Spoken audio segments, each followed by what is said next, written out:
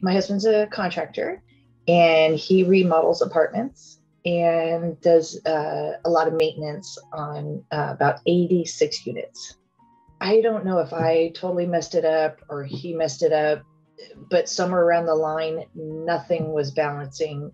I couldn't find invoices. I it was a complete mess. Nothing was matching. So I looked online and I tried actually I tried to go to Intuit to help me and that wasn't very helpful to me. I think it's just way over my head, to be honest with you. I don't think they didn't try, but it was way over my head. So I looked online, you know, like typed in questions I had on QuickBooks, and I saw Candus, and I thought first I thought she's super cute. I'm like bubbly and really friendly, and just kind of like me, you know, a mom, a worker, you know. So she was kind of down to earth. So that's what really attracted me to the confidence with QuickBooks. When she started talking, she made it really easy.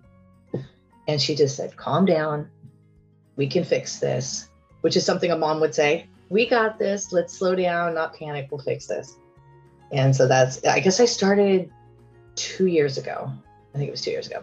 So Simplified was probably only probably four months ago. And I needed a little bit more help in the, I will say classes, like the online uh, Zoom uh, things were smaller. So it was just a few people, and you can ask a few more questions, which was nice. Definitely worth it, especially if you can do the month to month. If you can lock into the whole annual thing, that would be really good too, because then you're scheduled for those times and those calls, which is well worth it. Definitely.